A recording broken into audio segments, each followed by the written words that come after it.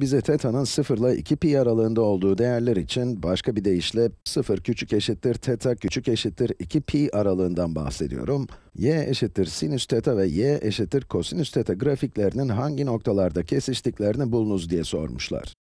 Soruyu çözmemize yardımcı olsun diye buraya ufak bir tablo çizdim ve sütunlara kosinüs teta ve sinüs teta yazdım. Bu tabloyu ve birim çemberi kullanarak y eşittir sinüs teta ve y eşittir kosinüs teta'nın grafiklerini kolay bir şekilde çizeceğiz umarım. Grafikleri çizdikten sonra da bu iki grafiğin kaç kere ve hangi noktalarda kesiştiklerini bulacağız. Hadi bakalım. Birim çemberde buranın x, buranın da y ekseni olduğunu tekrar bir hatırlatayım. Bu grafikte de burası y ekseni, y'yi teta'nın bir fonksiyonu olarak çizeceğimiz için x yazmaya alışık olduğumuz eksene teta yazıyoruz. Öncelikle teta'nın sıfıra eşit olduğu durumla başlayalım. Teta sıfıra eşitken buradayız öyle değil mi? Başka bir renkle boyayayım ki karışmasın. Evet, teta sıfırken birim çember üzerinde bu noktadayız. Evet, hadi hemen bu noktanın koordinatlarını söyleyin. 1,0, değil mi? Peki, koordinatlara bakarak teta sıfırken kosinüs ve sinüsün değerleri için ne söyleyebilirsiniz? Kosinüs 1, sinüs de 0. Birim çemberle kesişen noktanın x koordinatı kosinüsü, y koordinatı da sinüsü veriyor. Devam edelim.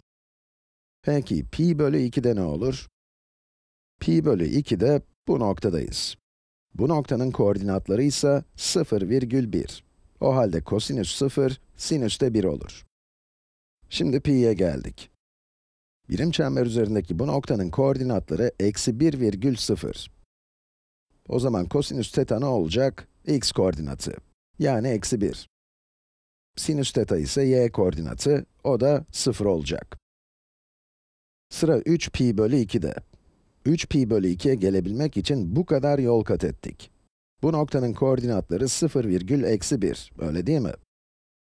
Kosinüs x koordinatına eşit olacağı için 0, sinüs de y koordinatına eşit olacağı için eksi 1 olacak.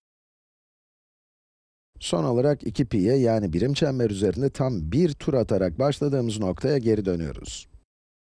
Tam bir tur attığımızda, buradaki noktanın koordinatı değişmeyeceği için kosinüs teta yine 1, sinüs teta da yine 0 olacak. Tablomuzu tamamladık. Şimdi bu değerlere göre, bu değerlere göre grafikleri çizebilir ve kosinüs teta ile sinüs teta'nın hangi noktalarda kesiştiklerini bulabiliriz. Önce kosinüs teta'yı çizelim. Teta sıfırken, burayı 1, burayı da eksi 1 olarak işaretledik. Önce y eşittir kosinüs teta'yı çizeceğiz demiştik. Teta sıfırken, kosinüs teta 1. Teta pi bölü 2 iken, kosinüs teta 0. Teta pi iken, kosinüs teta eksi 1. Teta 3 pi bölü 2 iken, kosinüs teta 0. Ve teta 2 pi iken, kosinüs teta yine 1'e eşit. Noktaları birleştirirsek, bunun bir eğri olacağını unutmayın. Evet, kosinüs teta'nın grafiği buna benzeyecek. Tanıdık geldi öyle değil mi? İşte y eşittir kosinüs teta'nın grafiği. Şimdi sırada sinüs teta var. Teta 0 iken, sinüs teta 0. Teta pi bölü 2 iken, sinüs teta 1. Teta pi iken, sinüs teta 0. Teta 3 pi bölü 2 iken, sinüs teta eksi 1 ve teta 2 pi iken sinüs teta 0. Bu noktaları da birleştirirsek, sinüs teta'nın grafiği de buna benzeyen bir şey olacak. Aynen böyle. Buna benzer bir şey. Şimdi ayrıntıya girmeden sadece grafiğe bakarak teta'nın bu aralıktaki değerleri için, yani 0 ile 2 pi arasındaki değerleri için ve unutmayın aralığa 0 ve 2 pi de dahil, y eşittir sinüs teta ve y eşittir kosinüs teta'nın grafiklerinin kaç noktada kesiştiğini söyleyebilir misiniz? Tabii ki, grafiğe bakıyoruz ve bu iki fonksiyonun bu noktada ve bu noktada kesiştiklerini görüyoruz. 0 ve 2 pi aralığında bu iki nokta. Bunlar periyodik fonksiyonlar oldukları için grafikleri devam ettirirsek birbirlerini başka noktalarda da kesmeye devam ederler. Ama sıfırdan 2 pi'ye kadar kesiştikleri kaç nokta varmış? 2 tane. Şimdi gelin bu noktalar hakkında biraz daha düşünelim. Dikkat ederseniz 0 ile pi bölü 2 ve pi ile 3 pi bölü 2 arasında yer alıyorlar. Sizce birim çember bize yardımcı olabilir mi? Bir şansımızı deneyelim. Buranın pi bölü 4 olduğunu düşünüyorum demiştim, öyle değil mi? pi bölü 4 de, yani teta pi bölü 4'e eşitken bu açıdan bahsediyoruz. pi bölü 4, 45 derece ile aynı şey. Tabloya pi bölü 4'ü ekliyorum.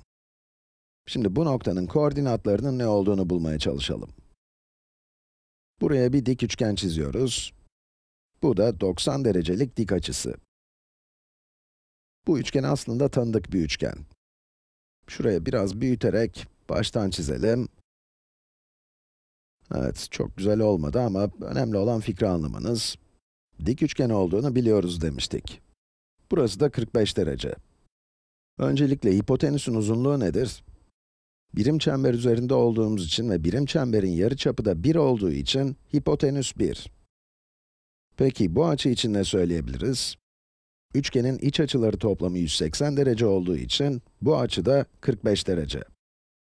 İki açının ölçüsü eşit olduğu için bu iki kenarın uzunlukları da eşit olacak. Ve sıra Pisagor teoreminde. Bu iki kenarın uzunluklarının eşit olduklarını biliyorsak Pisagor teoremini kullanıp uzunlukları bulabiliriz. Burası a ise burası da a. a kare artı a kare eşittir hipotenüsün karesi, yani 1. 2a kare eşittir 1. a kare eşittir 1 bölü 2. İki tarafın karekökünü alınca da 1'in karekökü 1'dir. 2'nin karekökü de karekök içinde 2. O zaman a, 1 bölü karekök içinde 2'ye eşit olur. Son olarak paydadaki karekök ifadesinden kurtulmak için hem payı hem de paydayı karekök içinde 2 ile çarpalım. Ve a, karekök içinde 2 bölü 2'ye eşit olsun. Tekrar ediyorum, bu iki kenarın uzunluğu birbirine eşit olduğu için, burası karekök içinde 2 bölü 2, burası da karekök içinde 2 bölü 2 olacak. Anlaştık değil mi? Tüm bunlardan sonra artık bu noktanın koordinatlarının ne olduğunu söyleyebiliriz. Sağa doğru karekök içinde 2 bölü 2 ilerliyoruz. O halde x koordinatı karekök içinde 2 bölü 2 olacak. Yukarıya doğru da karekök içinde 2 bölü 2 ilerlediğimiz için, y koordinatı da karekök içinde 2 bölü 2. Kosinüs x koordinatına eşit olduğu için, karekök içinde 2 bölü 2 Sinüs de y koordinatına eşit olduğu için, karekök içinde 2 bölü 2 olacak. Şahane. Tabloda ve grafikte de gördüğünüz gibi bu noktada kosinüs ve sinüsün, kosinüs ve sinüsün değeri birbirine eşit. Karekök içinde 2 bölü 2'ye. Geriye pi ile 3 pi bölü 2 arasındaki noktanın ne olduğunu belirlemek kaldı. Burası pi. Burası da 3 pi bölü 2 olduğuna göre bu noktadan bahsediyoruz pi artı pi bölü 4. 4 pi bölü 4 artı pi bölü 4 yani 5 pi bölü 4. Evet, burası 5 pi bölü 4. Ve şimdi 5 pi bölü 4'te ne olduğunu bulmaya çalışacağız. Bunu farklı şekillerde bulabilirsiniz. Mesela biraz geometri kullanırsak, eğer buradaki açı 45 derece ise, burası da 45 derecedir diyebilirsiniz. Az önce yaptığımız gibi burada da bir üçgen oluşturursak, hipotenüsün 1 olduğunu biliyoruz.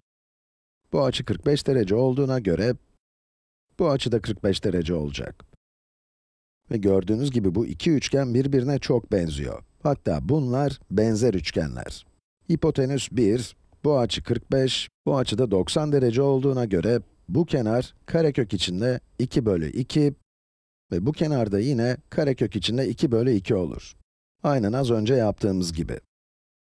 Peki bunlara göre sizce bu noktanın koordinatları nedir?